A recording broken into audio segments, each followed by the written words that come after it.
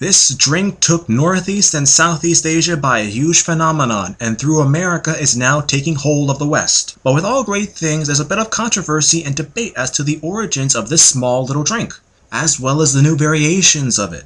The history of bubble tea is a work in progress, and chances are you might not know any of the details behind it.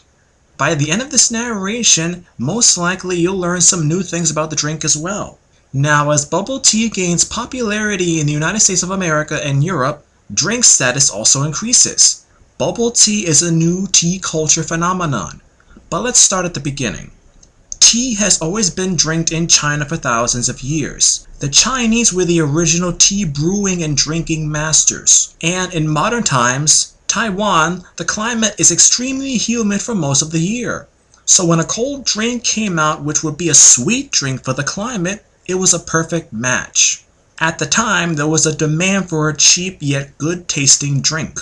The exact origins of what is now considered bubble tea are in mild dispute, but what's undoubtedly proven is that the drink originated from Taiwan in the early to mid 1980s, depending on your version of the story. The most referred to version of the origin of bubble tea, and the one person most credited with creating the quote unquote tea, is Taiwanese tea shop owner Liu Han Che, who experimented with cold milk tea in 1983. It is believed that he first experimented with fruit, syrup, candied yams, and the eventually now iconic tapioca pearls. Another version has Liu selling the drinks to school children, because at the time other tea vendors who were also selling to the children after the school day or after playtime. Liu decided to make the tea different by adding ingredients which were the precursors of what we now consider to be bubble tea ingredients.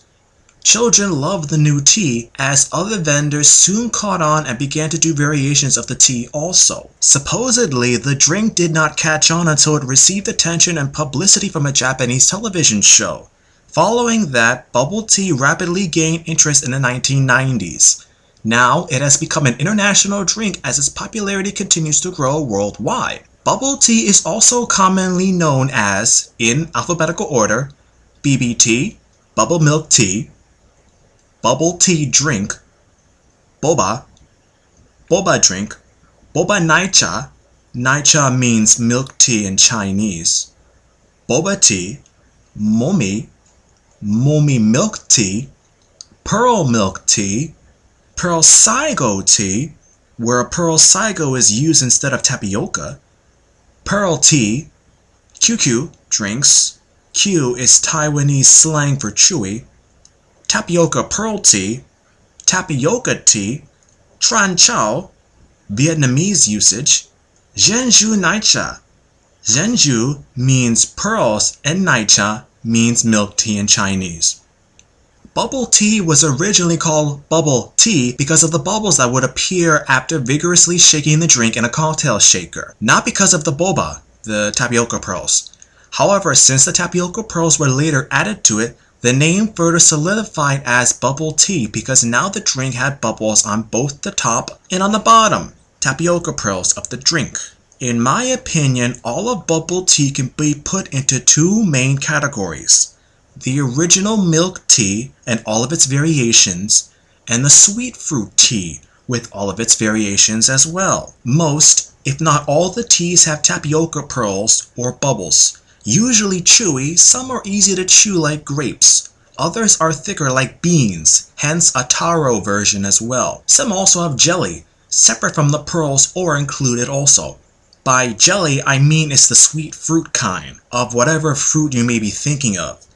Under most circumstances, you can't use a regular straw when drinking bubble tea because of the jelly slices or pearls, as a thin normal straw is too thin for you to suck up the sweets with. There's a reason why the plastic covering is on the top. It's for the straw. You can try to drink the tea like a normal drink, but it doesn't have the same experience. Some enthusiastic bubble tea drinkers have even tried to buy the items needed for tea to enjoy in their own home. It's actually not that really expensive, but depending on the sort of tea you would want to drink in your personal space, it may be time consuming and some work may be needed as well. To try and differentiate themselves from other tea shops, a new trend is the bubble tea cafe, or restaurant, where the tea is sold with different sorts of snacks or even larger meals for lunches or dinners. Though this drink may be just a trend in the popular spotlight, there's no doubt that it's a drink that's here to stay. What's your favorite drink and what was your first bubble tea experience like?